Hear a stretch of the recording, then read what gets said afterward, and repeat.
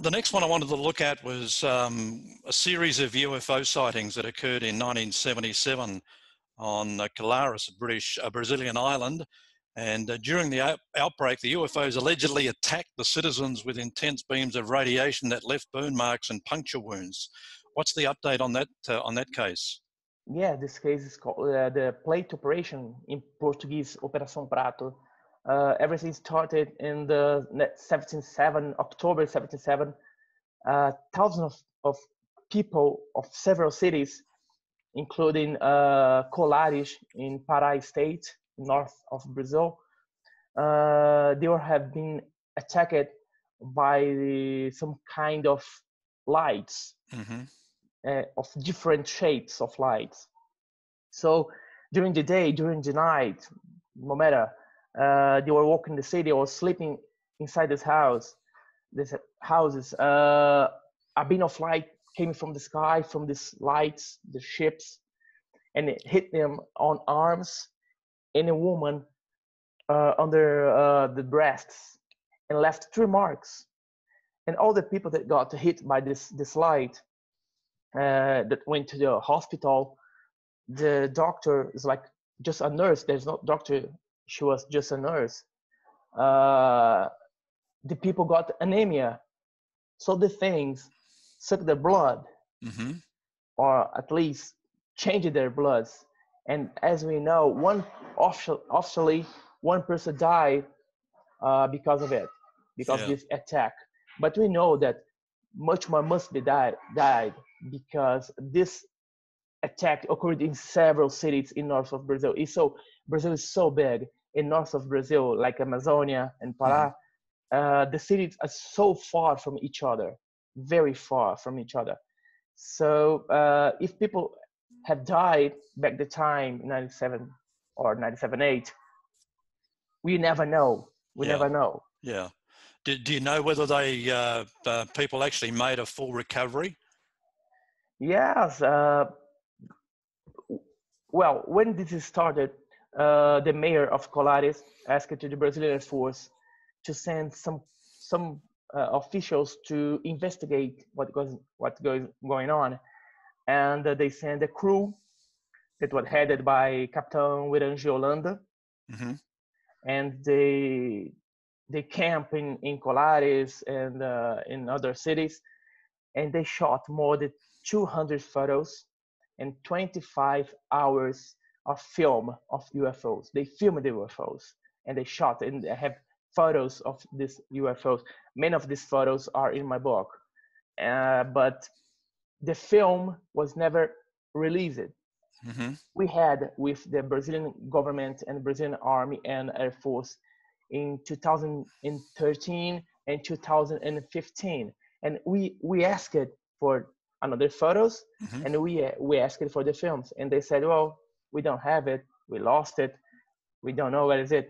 But Captain Uyrangê Hollanda told us back in 1997 that they have films. We we did we- we filmed the UFOs Mm-hmm. we took photos and we have a lot of reports and all these reports more than 3000 of pages of reports with drawings some with photos where it's available on internet Yeah. just Yeah. our, our enforces efforts uh, against the government to release it is it's a very very amazing case that's still going on because we don't have the photos and the films we're still looking for it Yeah.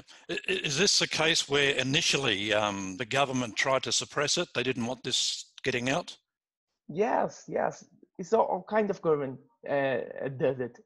Uh, it was a, a secret operation, but the cases uh, grew so much, so much. Thousands of people. People are leaving the town. Many of towns became a ghost towns. So there's no, there's the, impossible to hide what what was going on back there. So the government still kept uh, investigation, investigation, uh, but without without hide it because it's impossible. Yeah. Yeah. One of the first uh, alien abduction cases to receive uh, worldwide attention, uh, and Antonio Villas uh, Boas, um, he stuck to his story throughout his life, despite the uh, skeptics continuing to claim it was a hoax. Um, so, uh, is there an update on that story? Well, this case is very well known around the world. It's the first case of alien abduction before even that Barney and Beth Hill. Mm-hmm. Uh, but and also the first time that uh, a human being reports that had sex with you know, an alien being. So in 1957, Antonio Boas was abducted and then forced to have sex with an alien, a female alien. Wow. And this case was very, very, very well documented uh, with drawings and reports and, uh, and the reports of Antonio Villas-Boas. He never changed a word what, uh, of what he said since the beginning. He uh, actually, he never gained some, nothing, money, nothing with that.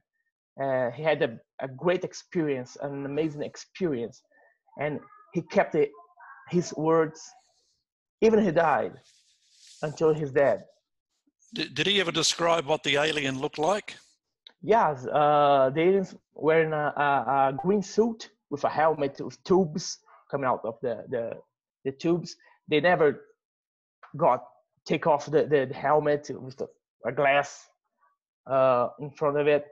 But the woman was very similar to to uh, uh I'm sorry, the alien was very similar with a a, a woman, a woman, uh, human human race. So it had a lot uh, of. Was, it, it had a lot of human characteristics. Yes, she was blonde, uh, short, you know, with a, uh, small eyes. It's like a woman with breasts and wow. something gentle, like a like a, a woman.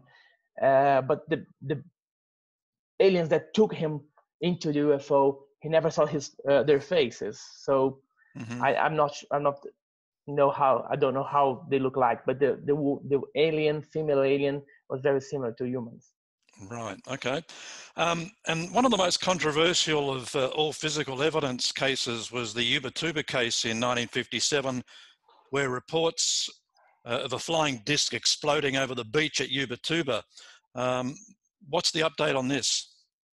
Oh, this case is amazing uh, because it was witnesses, witnesses, but several people on the beach and many parts of the UFO that exploded. What got, but people on the beach, and some parts of it was sent in 1957 were sent to a newspaper in, in Rio de Janeiro to analyze that. And the Brazilian Navy tried to analyze that and sent to some laboratories in the United States. But they had no conclusion. They uh, they discovered that some kind of minerals like magnesium mm-hmm. uh, was so pure that was impossible uh, to be found on Earth. So people said, "Well, it's a meteor, something like that." No, it's not, because the witness said that was a, a, a, a disc, UFO like a, a shape of a disc, like a flying flying disc, a classic flying disc that exploded. There was it was coming uh, towards the beach and then start shake and explode. Mm-hmm. And some parts of this uh, this piece of the the UFO is still is still here. Uh, we have one one part in Argentina mm-hmm. uh, by Andrea Simondini in the Museo of UFO in Victoria, Entre Rios, Victoria, Argentina. She has a, a small piece of this UFO. Jacques Vallée visited them uh, two months ago, three months ago, and took a part of this of this UFO uh, debris of the UFO and sent to analyze. It. And they cannot they cannot discover where it come from because the minerals are so different that we have here that just must be foreign, like extraterrestrial.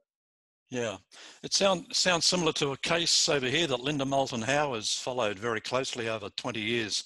Uh, I think you've, you've, heard of that, like the bismuth uh, metal, and uh, it's a, it's part of a UFO. It was sent uh, in by the uh, grandson of one of the uh, people I think involved in the cleanup um, back in the 40s, and um, the um, I mean, the minerals involved there are unusual. The fact that uh, I think there's three main minerals. I think magnesium may be one, but the fact magnesium, that they're yeah. the, the, fact that they're in there together has, I think, baffled a lot of um, uh, mineral experts. So yeah, this yeah. is this is a, a, hard evidence we have.